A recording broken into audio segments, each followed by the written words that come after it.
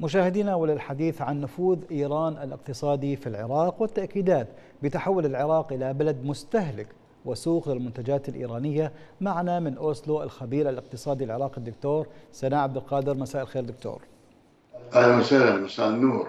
مرحبا. حياكم الله دكتور. غرفة التجارة الإيرانية تقول أنه طالما آه، العراق بلد مستهلك اقتصاديا فإيران في حالة اطمئنان وتكون مطمئنة ما الذي حول العراق ليكون بلد مستهلك بهذا الشكل؟ أين أصبحت الصناعات العراقية اليوم؟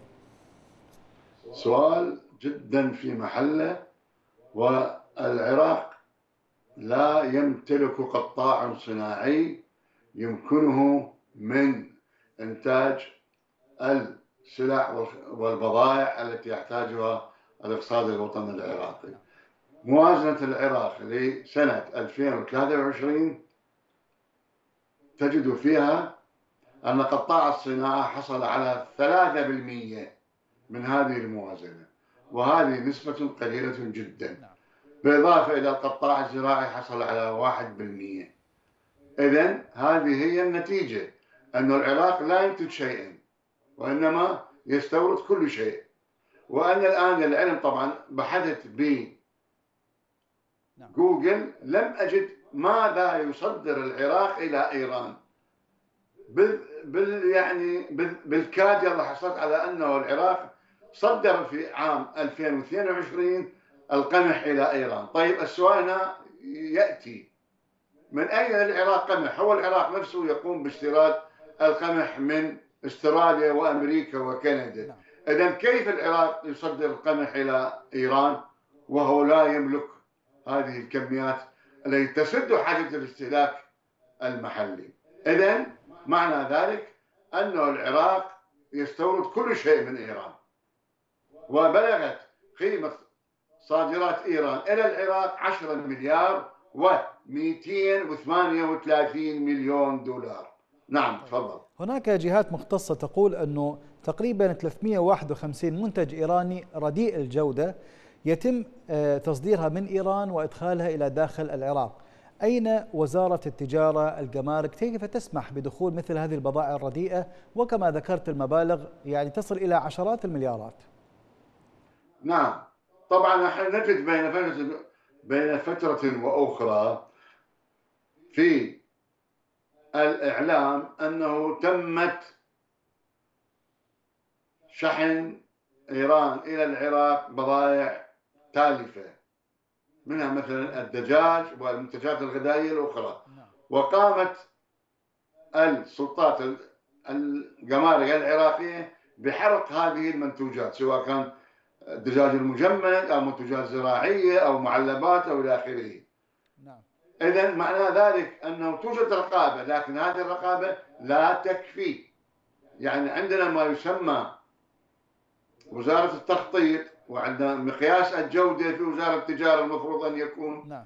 مع الأسف لا تقوم بواجبها. الذي يمكن أن يكشف لنا هذه السلع الفاسدة وغير الممكن استهلاكها يعني أنا نعم. سألت دكتور عن السلع الرديئة وأنت ذكرت أن هناك سلع تالفة أصلا تدخل وليس فقط رديئة نعم. غير صالح نعم. للاستهلاك نعم. قامت, قامت آه، القوات قوات الحدود بحرقها نعم. يعني أنا شاهدت عدة فيديوهات في الفيسبوك أنه هذه الشاحنات الضخمة من الدجاج والمواد الغذائية قاموا بحرقها لأنها تالفة نعم نعم بالأساس تالفة نعم. طيب كيف تعطى إيران كل هذه الثقة والثقل بوجودها داخل السوق العراقية؟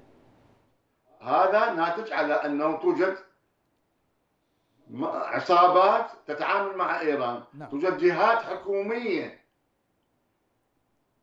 تكشف لم تقم بكشف هذه الاستيرادات غير الصحية. يعني معنى ذلك أن هناك توجد جهات تقوم بعدم الكشف عن هذه التلاعبات ومصالحها طبعا تأخذ نسب معينة من الكوميشن شايف كيف؟ سواء كان 10% 20% من أجل إدخال هذه البضائع الفاسدة إلى العراق وعدم كشفها. طيب لكن يتم كشفها اين؟ في السوق المحلي عندما يقوم الناس بشراء هذه البضائع واكتشاف أنها سامة غير صالحه للاستهلاك وعده إحنا لدينا عدة أمثلة على أنه تم استيراد بعض السلع الغذائية وظهر فيها تسمم من قبل الناس نعم. وقام يعني المستشفيات بفحص هذا التسمم لهؤلاء الناس طيب عوضا عن البضاعة هناك موضوع آخر اليوم يطرأ على الساحة وهو أن العراق نعم. اليوم أضحى متشائم من اتفاقية الربط السككي مع إيران يعني نعم. رغم حديث حكومة السوداني عن مكاسب عن مكتسبات للاقتصاد العراقي تنعكس عليه داخليا وخارجيا ولكن هناك تشاؤم من قبل. الجانب العراقي المواطن العراقي على الربط السككي مع إيران تدعي الحكومة أن هذا الربط هو فقط لنقل المسافرين ولكن أحد النواب يقول أنه مخصص للبضائع أيضا. نعم طبعا. آه هذا الخط البصرة الشلامشة يقوم بنقل البضائع الإيرانية بالدرجة الأولى من إيران عبر العراق إلى سوريا ومن ثم إلى أوروبا. نعم. معنى ذلك المستفاد الوحيد من هذه العملية هو فقط الجانب الإيراني وهو ينافس ميناء الفاو الكبير لا تنسى. نعم.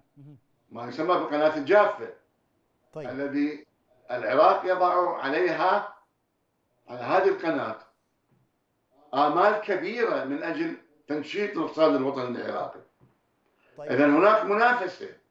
من هذا الربط السككي للمشروع والذي تستفاد من عنده إيران بالدرجة الأولى والذي ينافس ميناء الفاو الكبير الذي العراق يضع آمال كبيرة عليه. نعم. بالتالي هو خسارة للعراق ومكسب إلى إيران. بدون شك لأنه تكاليف إنشاء هذا المشروع للعلم طبعا المرحلة الأولى 138 مليون دينار. يقوم بتغطيتها الجانب العراقي فقط. الجانب الإيراني يقوم ببناء بعض الجسور وإزالة الألغام على طول 16 كيلو متر فقط. يعني فقط المنطقة التي يغطيها هذا المشروع السككي أما بقية المناطق التي يوجد فيها الألغام من زمن الحرب العراقية الإيرانية موجودة لحد الآن. إيران فقط تقوم برفع الغام على طول 16 كيلو متر فقط. نعم. نعم.